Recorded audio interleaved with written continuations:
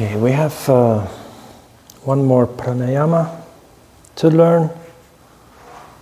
It's called Shitali Pranayama. It's described in the Hatha Yoga Pradipika, chapter 2, Sutra 57.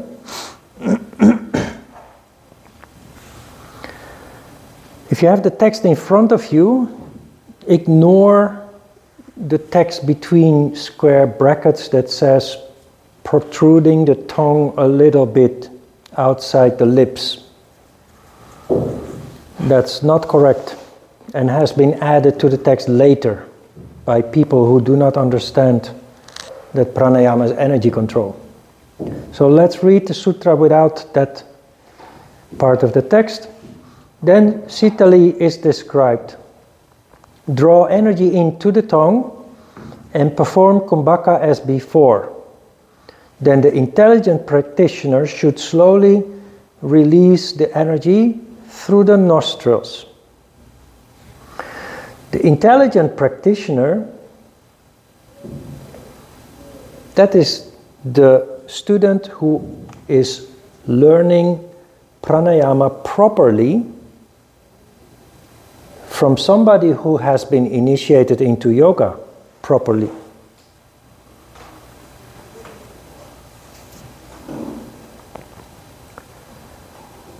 Svatmarama, with most exercises, gives a little hint that you cannot learn this from a book, and you have to learn it from somebody who is initiated into the secrets of yoga.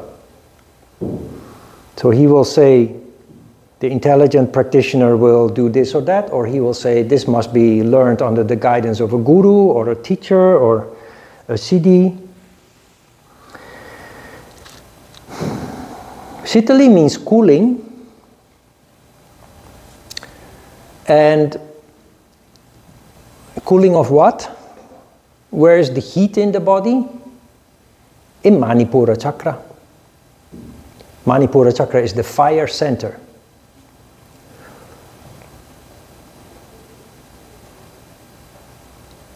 The fire center is the location of ego and also ambition is located in this, uh, in this chakra.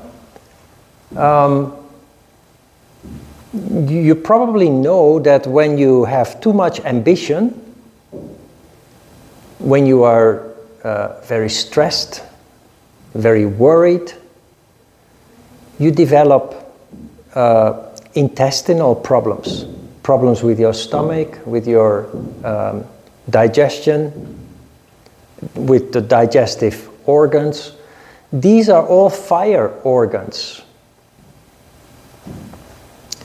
Shitali Pranayama is designed to, to cool the fire, to deal with these fire diseases. And it does that by putting out the fire with water, which is the chakra below Manipura chakra. Svadhisthana chakra is the water center. The tongue here is the representative of Svadhisthana chakra because the Jnanendriya of Svadhisthana chakra, the organ of perception, Jnanendriya, is the taste. And taste is in your mouth with your tongue. It's a very clever exercise. That is just 100 times better than a breathing exercise.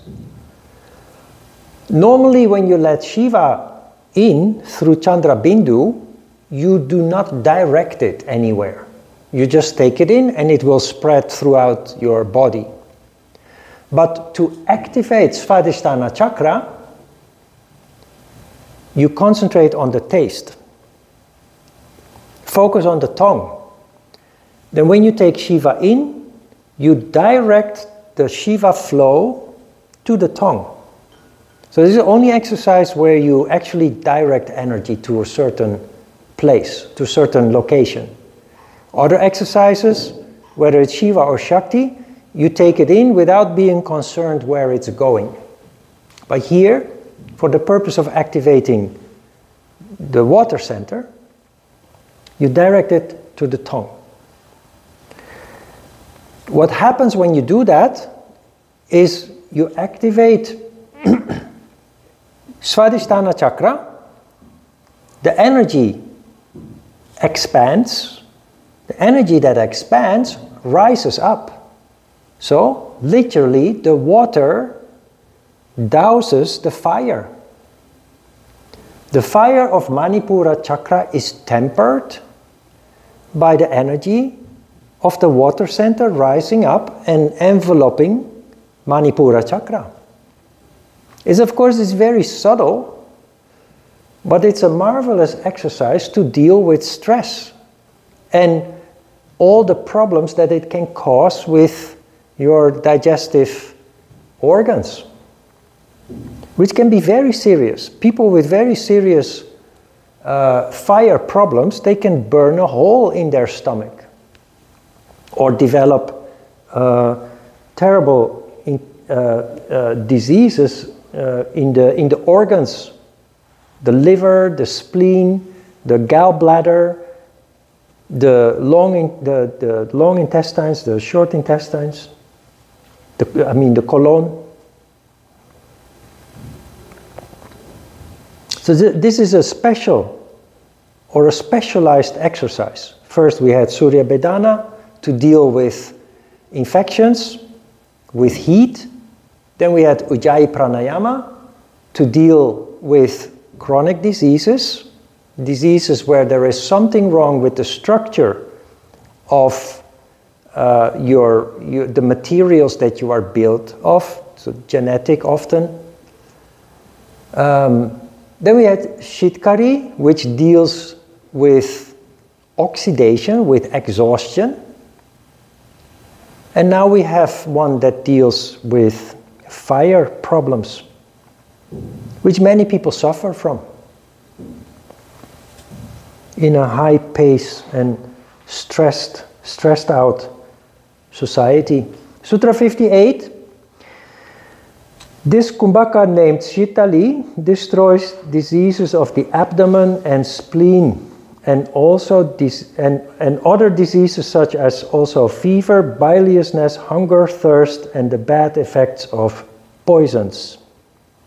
So you see, I already mentioned it's dealing with everything related to um, digestion, which is the function, among other things, of course, of Manipura chakra.